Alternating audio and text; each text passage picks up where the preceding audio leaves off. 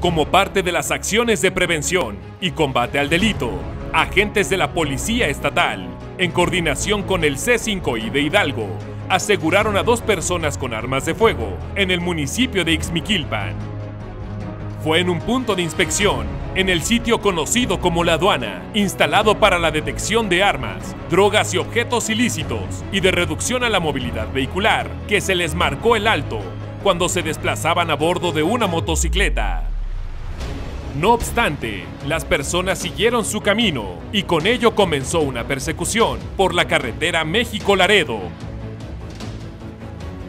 La motocicleta circulaba en el carril opuesto de circulación con alta velocidad y una camioneta de la policía estatal le siguió el paso.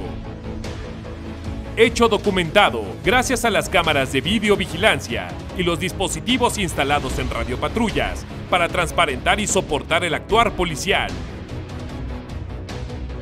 Fue metros adelante que otra unidad que acudía a la zona le cerró el paso y el conductor del vehículo compacto, en sentido contrario, perdió el control hasta terminar derrapado en el pavimento.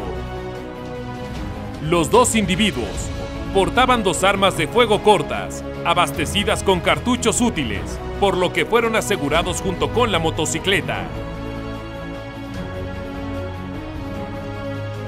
Las personas quedaron a disposición de la Fiscalía General de la República para los trámites que corresponden.